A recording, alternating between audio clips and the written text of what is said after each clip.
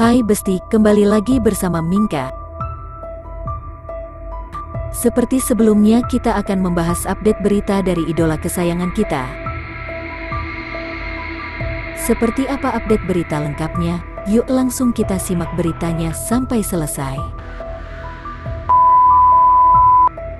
Hai Besti, kali ini ada berita dari momen Melo Putri saat di balik papan. Salut Putri yang berkurban sapi sendiri. Pada hari ini nampak Putri yang terlihat sudah cantik. Meskipun sebelumnya sempat sakit, namun kondisi Putri pagi ini mendingan. Dengan sinar wajah penuh seri Putri terlihat sepertinya akan kebalik papan. Seperti kemarin yang dikatakan Putri ingin kebalik papan menemui keluarganya.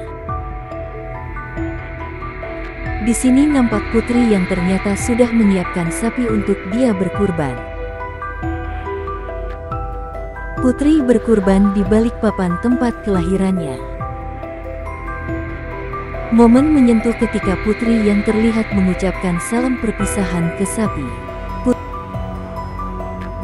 Putri yang mengatakan sampai jumpa di surga insya Allah. Banyak yang salut dengan Putri yang meskipun sudah bersuami.